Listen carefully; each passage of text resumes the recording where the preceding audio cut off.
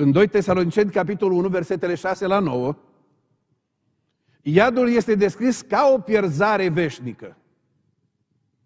O pierzare nu anihilare, ci aceia care ajung acolo sunt într-o pierzare veșnică.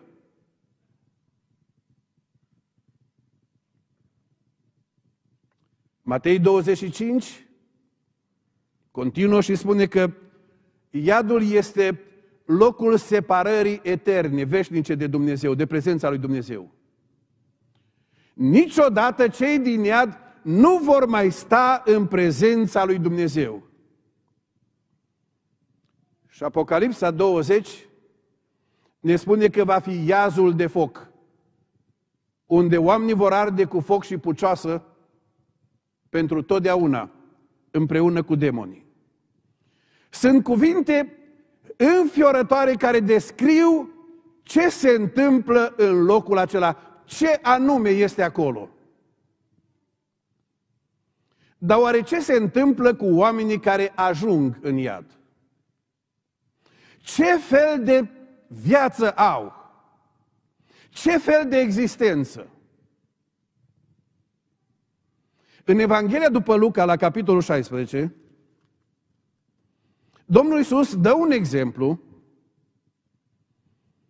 și ne spune despre Lazar și despre omul acela bogat. A murit și bogatul și l-au îngropat.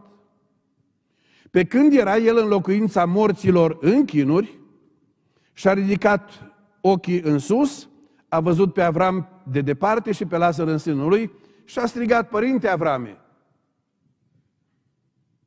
Și apoi a spus, mai am acasă cinci frați. Ce înțelegem de aici este că oamenii care ajung în iad ajung pe deplin conștienți, nu-și pierd conștiința. Nu intră în comă. Nu sunt în moarte cerebrală. Când ajung în iad, sunt în deplinătatea conștiinței. Sunt conștienți de locul unde au ajuns, sunt conștienți de motivul pentru care au ajuns acolo. Și sunt conștienți de ceea ce se întâmplă acolo. E o conștiință de plină. Cu păstrarea memoriei, cu păstrarea capacității de a recunoaște, cu păstrarea amintirilor de aici, de pe pământ,